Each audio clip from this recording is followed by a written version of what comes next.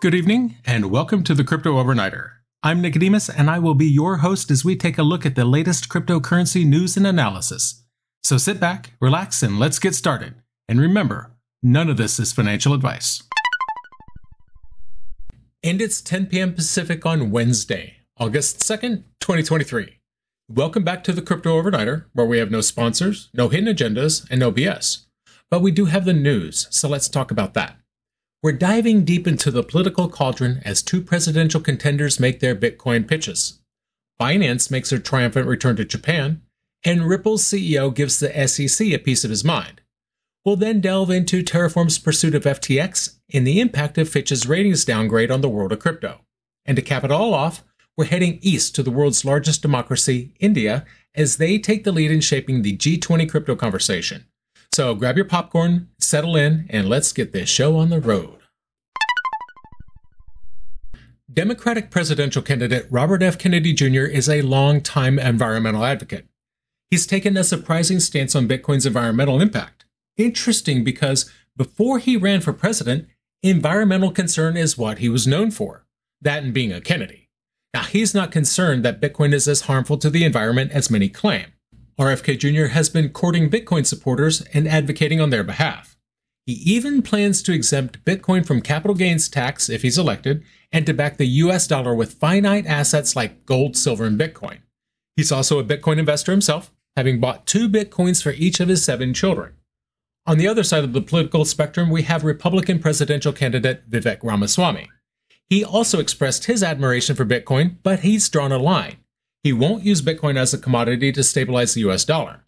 Ramaswamy believes the US Federal Reserve should focus solely on dollar stability, and while he is a Bitcoin fan, he doesn't see it fitting into the commodity basket to stabilize the dollar. He's also a Bitcoin investor and has spoken at Bitcoin conferences. Kennedy's stance on Bitcoin's environmental impact is a significant shift from the usual narrative. It's not just about the environment, it's about freedom to transact. His support for Bitcoin and his plans to integrate it into the US financial system show a progressive approach that resonates with the crypto community. Ramaswamy's position, though supportive of Bitcoin, is more cautious. His refusal to use Bitcoin to stabilize the US dollar reflects a traditional approach to financial stability. It's a clear contrast to Kennedy's progressive ideas, and it highlights the divide in political thinking around cryptocurrencies. Folks, what we're seeing here is a battle of ideologies. Kennedy's approach is a breath of fresh air for all of us who believe in the power of cryptocurrency. He's not just talking the talk, he's walking the walk. His plans could revolutionize the way we see and use Bitcoin in our economy. By contrast, Ramaswamy, though a fan of Bitcoin, he's holding back. Some have said he's not ready to embrace the future, and that's a missed opportunity. I cannot and will not tell you how to vote in the upcoming election. I will just say this we do need bold leaders who are willing to take on the tough questions like these and not leave them to the unelected bureaucrats like SEC Chair Gary Gensler. The future of crypto is bright, and we need politicians who see that and who are ready to act. The choice is clear embrace the future or cling to the past. Let's make sure our voices are heard. From the American political theater to the Japanese market arena, Bitcoin is making a bold entrance. Make sure you're subscribed to stay on top of these global moves the world's largest crypto exchange, made a triumphant return to Japan. Binance launched a dedicated platform for the Japanese market, offering 34 tokens for spot trading. They're not offering futures trading just yet. They need a special license for that. That said, this is the largest number of tokens offered by any exchange in Japan. Binance's reentry into the Japanese market is a strategic move. They've acquired a local exchange, previously known as Sakura Exchange Bitcoin, and renamed it Binance Japan Incorporated. This acquisition has allowed Binance to fully comply with local regulations, a crucial step given Japan's strict regulatory environment. Putting Binance aside here for a second, it looks like Japan is becoming a welcoming space for crypto in Asia. It's continuously introducing regulations to attract crypto firms and investors. Binance's successful entry into the Japanese market is a clear sign of this positive trend. Binance's move is also significant because it's offering its own Binance coin in Japan for the first time.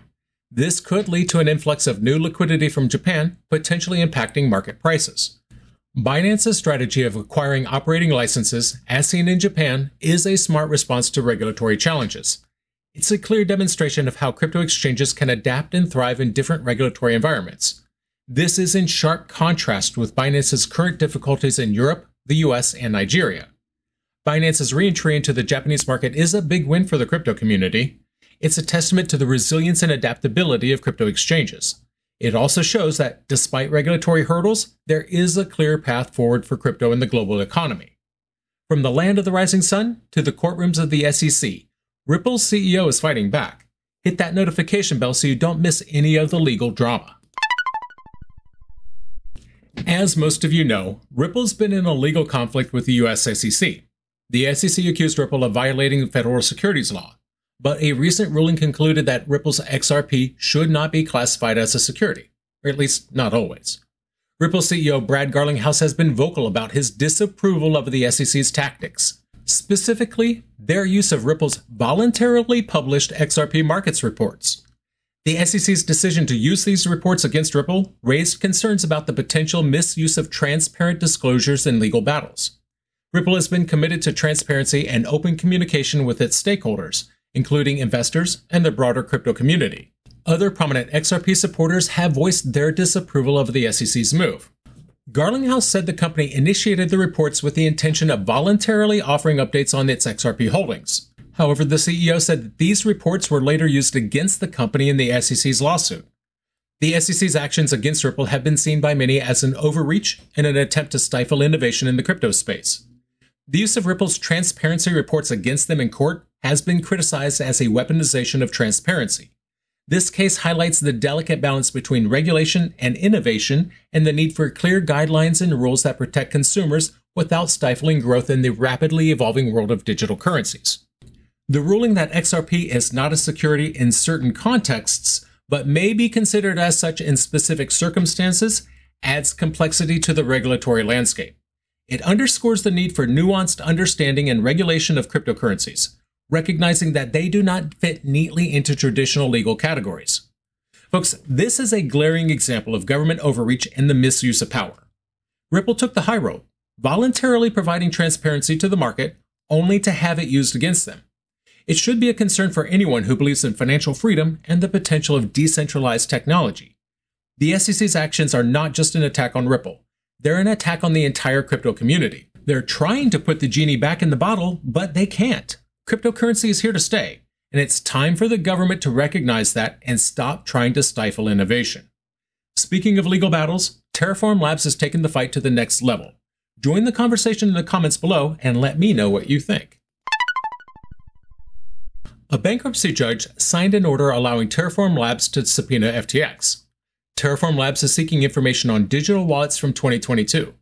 The judge in the FTX bankruptcy proceedings is permitting Terraform Labs to subpoena relevant information for their ongoing case against the US SEC. Terraform Labs claims their algorithmic stablecoin and governance token encountered issues due to a potential attack by short sellers. FTX declared bankruptcy in November of the same year. Terraform Labs fell apart in mid 2022 when its stablecoin project TerraUSD collapsed. The legal debate on whether cryptocurrencies are subject to SEC rules has become more complicated. As we said last night, U.S. District Judge Jed Rakoff is allowing the SEC to proceed with its legal case against Terraform Labs. This goes against the decision of Judge Torres last month that said XRP was not a security in some cases. The separate findings complicate the regulatory outlook for the crypto industry. Under Chair Gensler, the SEC's been emphasizing an enforcement heavy approach to the industry. Some people call it enforcement by regulation. I call it strangulation by regulation, but that's just me. This opposing legal view adds new confusion for crypto investors and further uncertainty concerning other SEC lawsuits. What we're seeing here is a clear example of the government's overreach into the world of crypto. The SEC's relentless pursuit against Terraform Labs and FTX shows us central authorities are trying to control and manipulate the decentralized world of crypto. We must not let the government stifle innovation and freedom in the financial world. The future of cryptocurrency depends on our ability to resist these attempts to regulate and control what should remain a free and open market. From subpoenas to credit downgrades, the financial world is shaking. Like this episode if you're keeping an eye on the future of the dollar. Fitch Ratings is one of the world's big three credit rating agencies. They downgraded the United States long term foreign currency issuer default rating from AAA to AA. The downgrade reflects expectations of fiscal deterioration growing government debt, and erosion of governance. The US debt to GDP ratio is expected to reach 118% by 2025, nearly three times the AAA median. Interest payments alone are expected to comprise 3.6 of the GDP by 2033. Bitcoin, Ethereum, and other major cryptocurrencies have swung wildly over the last month. Bitcoin's price almost doubled since late last year, helped by a shock BlackRock crypto flip and XRP developers' victory over the SEC. Mark Yusko is the chief executive of hedge fund Morgan Creek Capital Management. Yusko predicts the Bitcoin price could soar as high as $300,000 by 2028. Bitcoin briefly topped 30,000 after Fitch's downgrade. It rose 2.1% to around $29,498, up almost 80% so far this year, but still down over 55% from its all-time high in 2021. The downgrade could be the push Bitcoin needs to resurface above the $30,000 psychological level. The downgrade by Fitch is a significant event that's rippled through both traditional and crypto markets. The US government's fiscal mismanagement and growing debt burden are alarming indicators of economic instability. The downgrade could bolster the theoretical case for decentralized currency, as damage to the central government's credit could raise demand for a stateless currency like Bitcoin. The prediction of Bitcoin reaching $300,000 by 2028 is a bold one. It requires Bitcoin to surpass gold's $6 trillion market capitalization. That's a bold statement indeed. It reflects a growing belief in the potential of cryptocurrencies to challenge traditional financial systems. The upcoming Bitcoin halving in April next year, reducing supply of new Bitcoin, is expected to be a catalyst for price rises. By the way, none of this is financial advice. I'm not your guru. I'm nobody's trading coach. So don't go buying Bitcoin because of what you hear from me. That said, the writing is on the wall. The government's reckless handling of the economy, the erosion of trust in traditional financial systems, and the rise of decentralized currencies are not mere coincidences. What they are is clear signs of a shifting paradigm. The downgrade by Fitch is more than just a financial hiccup, it's a wake up call. It's a reminder that the government's mismanagement and the central bank's flawed policies are driving people toward alternatives like Bitcoin. And why not? Bitcoin fixes many of gold's problems and is equally scarce, and becoming scarcer, unlike gold. The future is here, the future is decentralized, and it's time to recognize that the old ways are gone. The revolution is here, and it's powered by crypto. And as we watch the mighty dollar stumble, India rises to lead the G20 crypto conversation. Share this episode with friends who need to know about these world shaping decisions. And this brings us to our cover story for tonight. India is the world's largest democracy. They're taking the reins of the G20 group of nations, and they're not just sitting back, they're pushing for a global coordination on cryptocurrency rules. India released a G20 presidency input note. It's proposing a path for globally coordinated rules for crypto assets. The international push for clearer policies has gained momentum under the Indian G20 presidency. They're calling for coordination and consistent implementation of crypto asset regulations. They want the IMF and the FSB to examine regulatory arbitrage. They're focusing on cross border information sharing and consumer protection. They're coordinating with international organizations like the Financial Action Task Force, the Organization for Economic Cooperation and Development, the Basel Committee on Banking Supervision, and the Bank of International Settlements. They're setting the stage for a new era in crypto regulation. So, what does this mean? India's presidency note on crypto is an effort to have its suggestions included in the framing of global crypto rules. They're calling for tougher rules for crypto asset activities and global stablecoin arrangements. They're asking for action points like promoting the effective implementation of the FSB's recommendations. They're focusing on macro financial implications and risks specific to emerging markets and developing economies. They're conducting outreach to all jurisdictions to make sure they're aware of the risks. They're handing responsibility for coordinating the work around global crypto rules to the IMF and the FSB. Now, let's talk about what this means for you. India's move is a clear signal that the world is waking up to the power and potential of cryptocurrency. But it's also a warning. Governments and central banks are involved. They're trying to regulate, control, and possibly even stifle crypto.